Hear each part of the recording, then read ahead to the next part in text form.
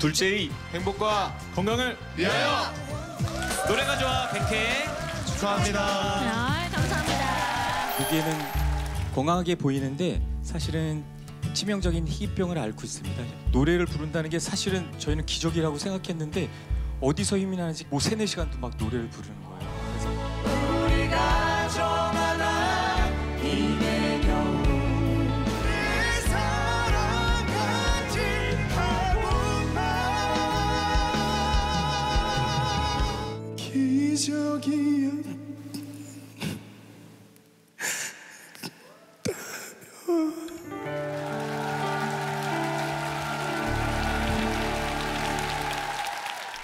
다시 돌이켜 보시니까 소감이 어떠신지 한번 다시 한번 듣고 싶어서요. 이제 지금도 투, 투병 중이긴 하지만 둘째 진우가 무대에 서서 혼자 노래 부르는 것을 저희가 보다가 저희가 어떻게 하면 가족 전체가 나와서 힘을 줄까 생각해서 출연하게 됐는데 뭐 아까 소곡이 계속 말씀하셨는데 저희도 첫 출연 때 아, 그냥 하모니상만 바꾸고 가자라고 했는데 음. 1승하고 2승 하니까 뭐 꿈 같고 기적 같더라고요. 그런데 3승 때는 이제 정말 기대를 안 했었죠. 왜냐하면 출연진의 어떤 그 이야기들이 너무 진정성 있고 정말 감동을 받아서 정말 그때는 이제 여기서 이제 저희는 나가겠구나 생각했는데 지금 이 자리 4승까지 하고 100개 초대받게 된 게 너무 꿈 같고 아직도 얼떨떨하고 기적 같습니다. 아유, 어, 이 가족을 만날 때마다 걱정되고 또 어, 응원하게 궁금한 되는. 것이 우리 진우 씨의 거- 건강이에요. 지금은 어때요? 사실은 이제 방송이 나오고 나서 어, 여러분들이 많은 관심과 이렇게 사랑을 주셔가지고 제가 다니고 있는 병원에도 이렇게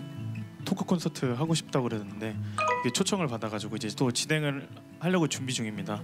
근데 이제 그렇게 이제 많다 보니까 그런 게 많다 보니까 요즘 좀 무리를 했는지 방송 끝나고 나서 통증이 좀 있더라고요. 그래서 병원에 가서 좀 진료를 더 받고 좀 경과를 좀 지켜보고 지금 아직 더 이렇게 지켜보고 있는 중입니다. 근데 음, 아, 무리하지 말아요. 그럼요. 네, 네. 건강하셔야 네. 돼요.